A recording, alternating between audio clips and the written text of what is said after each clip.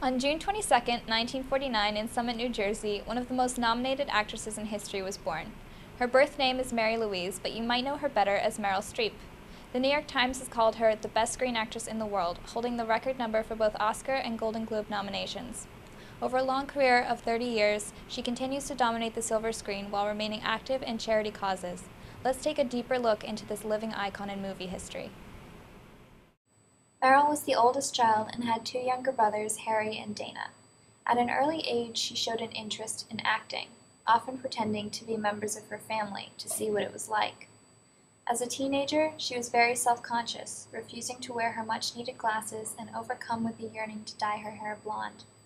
In high school, she finally joined the cheerleading squad and got out the hydrogen peroxide. She was very involved in activities including theater, where she spent countless hours in the auditorium learning lines and attending rehearsals, as well as student government, National Honor Society, and becoming homecoming queen. After graduating high school, she attended Vassar College for her bachelor's degree in drama. But it was during university I paid for my uh, scholarship. I got a scholarship at the uh, School of Drama at Yale, and I paid for that with waiting on tables. Her film debut was in Julia, where she played a small supporting role, and the following year she was nominated for her first Oscar in The Deer Hunter. The next few years were unbelievably successful for Streep, earning her two Oscars in four years and a marriage to her longtime husband, Don Gummer, in late 1978. Since then, Streep has graced the cinemas in over 45 movies and many nominations. Although many are in awe of this record, she herself feels differently about the subject. Bon appetit! You have to realize that I've been nominated so many times for various things and I have lost so many more times than anybody else on the face of the earth. However, she keeps coming back to walk the red carpet anyway, despite her losses and those fierce fashion police. We met up with Meryl at a local theater to learn more about her career. She shared with us some of her experiences in the film industry and her technique for getting into character.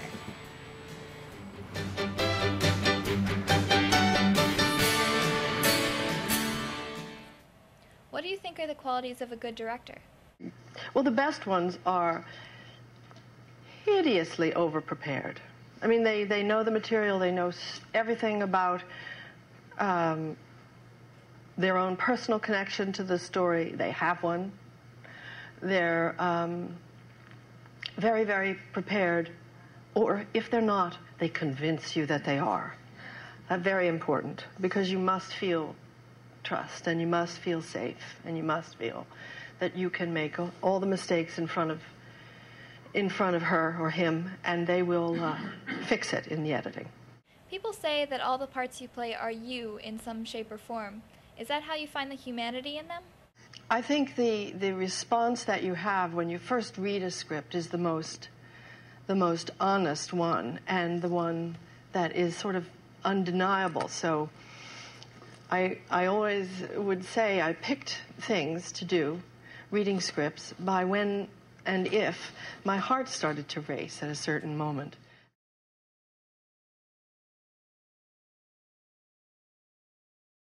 An actress with a career of over 30 years and 16 Oscar nominations may appear to be reaching her end, but Meryl Streep is quite the opposite. She continues to make blockbuster hits at the age of 61 and has no plans of stopping anytime soon. Although she would never admit it, she is paving the way for great actresses to come.